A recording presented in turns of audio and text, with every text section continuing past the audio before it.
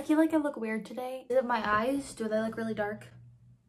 That, those are the darkest eyes I've ever seen in my life. Hello, hello. What is up? How are you today? I'm Paige Layle and you are watching Paige Layle. You may know me from TikTok where I have a, a much larger uh, platform. If you guys are not already doing so, you can go check me out on TikTok at Paige Layle, and while you're at it, you can follow my Instagram with the same name. I have a lot more videos on TikTok than I do on YouTube thus far. We need better autistic representation, and so whereas these characters are not listed as autistic or made to be autistic, they are often the characters that have the best representation for the autistic community. And we deserve better representation. So let's talk about some of the characters that are definitely autistic canon.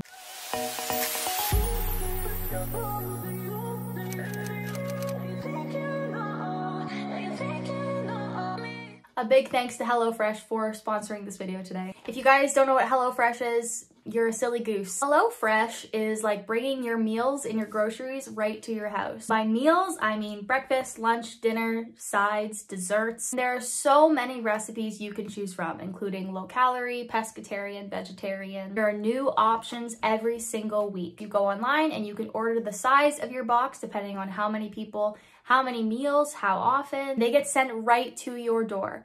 This saves you a lot of time from going to the grocery store and having to buy things that oftentimes you don't even use the full thing anyway. HelloFresh packages you every single thing you need besides salt and pepper. That includes the exact amounts of garlic you need, the exact amounts of every single thing. It's easy. You don't have to do much measuring at all. You don't have to go to the store and you don't have food going bad in your fridge. And you cut out that middleman, all that transportation going from the farmers to the grocery store. Actually, it's less wasteful and has a smaller carbon footprint. It saves so much time and you don't have to plan anything. You don't have to plan what meals you're gonna get. You just have them planned for you. And if you hate the meal, you can go in and you can change it. It is super flexible. You can skip meals, you can change meals all over the place. I love how HelloFresh plans for me and has everything already pre-packaged, ready to go, ready for me to cook. I have poor interoception, as you guys probably know, so I don't feel hunger very much, and so I usually won't eat this entices me to eat because it is it doesn't take a lot of time. It doesn't take a lot of energy for me to plan. I do not have to go into public to a, big scary grocery store. One other thing i really like about HelloFresh is that last year in 2020 they donated over 4 million meals. Go to hellofresh.com and use my code paigelayle12 to get 12 free meals including free shipping. You guys in here that's paigelayle12 paigelayle12 to get 12 free meals and free shipping. Make sure you check out the link in the description for more info. Now let's get let's get into it. Some characters are autistic, like they wrote them to be autistic, they're supposed to be autistic. Dude from The Good Doctor,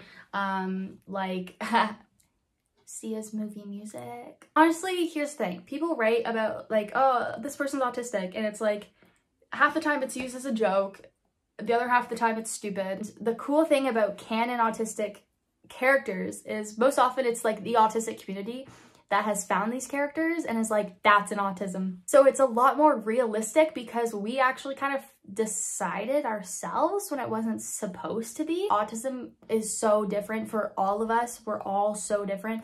So there will never be one character that works for every single one of us ever. So I'm to talk about five different characters today and they all are quite different, which is exciting. Um, but it also goes to show that the autism spectrum is not like we're not the same. It is a spectrum. We're all so different. These are five characters that you didn't know were autistic. I'd also like to give a disclaimer before we start that I do not nor have I ever claimed to speak for anyone besides myself. If you know one person with autism, you know one person with autism. And this is just one gal's opinion. I'm just one gal. I'm not an organization. I am an autistic human being. These are my opinions. Now, I will say that my opinions usually agree with the majority of the autistic community's opinions, and if not, which I don't think there has been a case, they are the least harmful and the least ableist opinions I do think. I am not just pro-autism, I'm also anti-ableism. You can refer to yourself however you want. I am not in charge. I cannot police you. Don't just listen to me. If you're just listening to me, you're not listening. I'm just one gal. Okay, I'm gonna give you hints as we go on, and then I'll get I'll tell you who it is. This character, male, from a TV show you would watch as a preteen, especially if you were born between like the years of 97 and 2002. They were not animated, they were real life, real life characters. This character was the older brother of the main character. He was also the caretaker of the main character. I would say that this character is autistic and has ADHD. Who is this character? It is none other than Spencer Shay from iCarly. This character has an intense interest, I would say a special interest, in like absurdist art and painting and sculptures.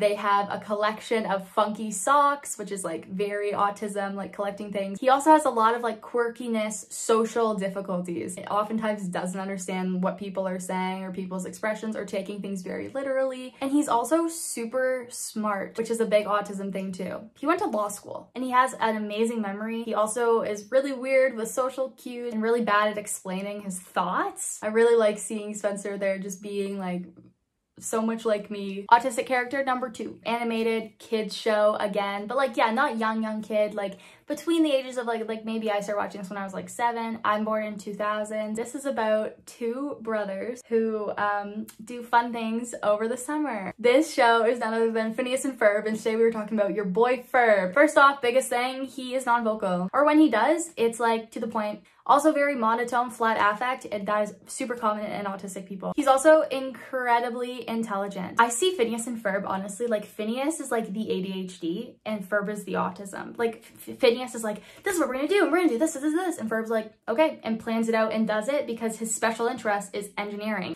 Ferb like rarely ever has like facial expressions, which is stunning. And then also his animated, like he's animated, he's like rarely ever giving eye contact. So Dan and I uh, are friends on TikTok. Um, Dan is the creator. I know that Dan didn't intend this. Dan has said that like this is a really cool theory. Ferb is super matter of fact. This is the way it is. Love the representation. Love my man Ferb. Artistic character number three. Cartoon show, but like older. Like you're definitely like, you're like a preteen to teenager. In this show, they do suggest that this character is autistic, but it, it's never like a like an actual thing. They just like, they're like, oh, she's autistic. That's why she is the way that she is. But I like to think of it as like this family because they're like more like a lower income. I would imagine that they are like self-diagnosed autistic, I bet they wouldn't have the money or the need to have that money to go for a formal diagnosis that costs a billion dollars. And it is none other than your girl, Tina Belcher from Bob's Burgers. One thing about Tina, she is super open and like doesn't understand social boundaries that much. She often like says things that like maybe, you know, people wouldn't say or is it like socially acceptable? There are some things that you don't tell a stranger. She's also a very literal thinker. She takes everything you say as like face value. She usually speaks with a flat affect. She doesn't know when people are making fun of her. She thinks everything is just literal. She also has meltdowns. She has visible meltdowns on camera. And I would say her special interest is horses and is um, like romance, being in relationships and being like a romance guru, other humans and love and how other people connect with people. Tina Belcher,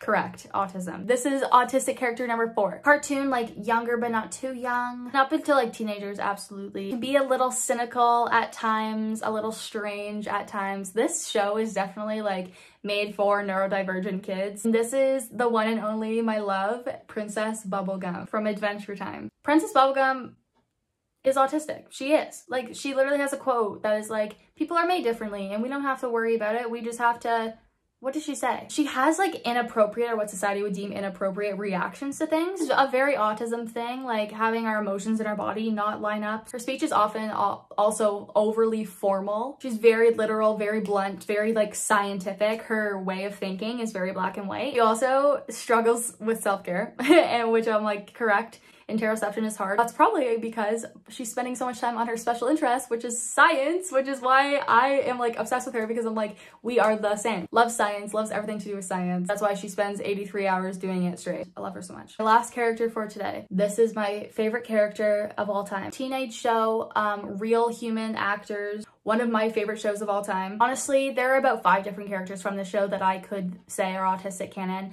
but this is like the most obvious. I don't know if any of you guys have seen The Office, but I hope most people from that have seen The Office can agree.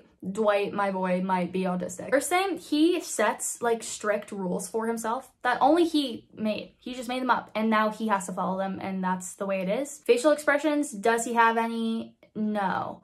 Does he show or have emotions the same way as everybody else? No. He's very blunt and literal and has a flat affect. He does not care for social norms or like traditions. Like even at the Christmas party, societal norms just don't make any sense to him. He has like strange relationships with everybody. He doesn't have a best friend besides like his family member. His cousin Mose is his best friend who he had to grow up with and Mose is also definitely autistic. He really cares and stresses and worries about authority and who has authority over who. He plans all that out because that's not something that's just like given and feels good to us. Also, I think his special interest would be safety. He does like martial arts. He always has like weapons on him and knows where they are and he's ready for if an intruder comes, he's ready for if a fire is gonna happen, he's ready for like living out in the woods. He knows what to do while he's watching Michael like survive in the woods. Like he is ready for like worst case scenarios. He knows what to do. He has like every plan set out for him and also thinks that he is responsible